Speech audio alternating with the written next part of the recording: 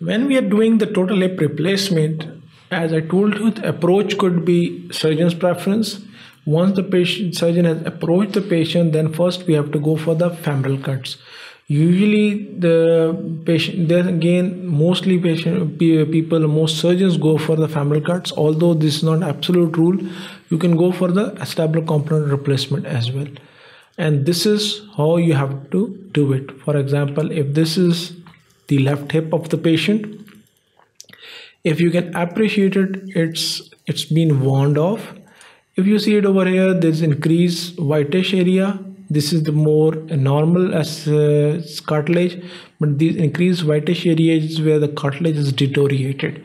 If you see it inside in the acetabulum there is also increased deterioration of the cartilage.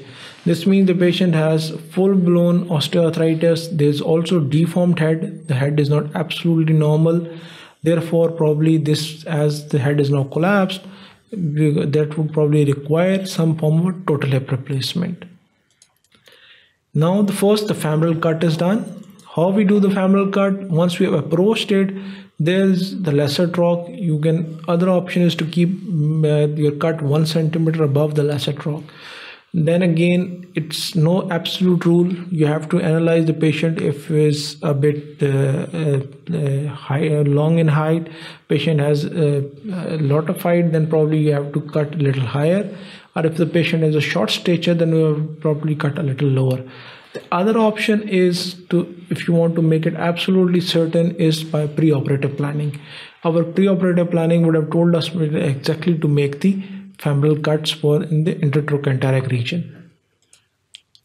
Once we have made the cut, we have removed the proximal area, then we ream the uh, intramedullary cavity by use of broaches and to appropriate size. Once we have reamed it to appropriate size, then we uh, put in the femoral component, which is actually not the original one. This is called as trial component, which can be used to uh, look at the uh, for the trial. Once we have uh, done that we can go for the we can go for the use of other components such as acetabular reaming as well. Once we have completely reamed the acetabulum and uh, also remove all the debris inside as well as the other necrotic femoral head as well we take the femoral head size and put the acetabular cup over it. Once they have put the acetabular cup we can go for the polythene liner in the in the middle of it. And once we have done that we can put in the trial component and we can check the acetabular component size as well as the trial femoral component size.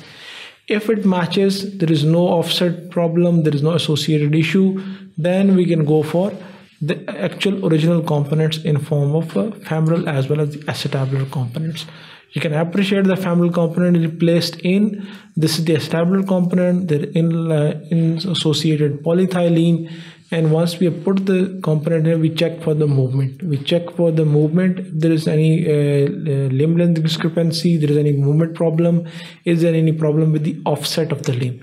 If all is okay then we go uh, just uh, put in the components close it down and eventually close the muscles and the skin over top of it and our arthroplasty is being done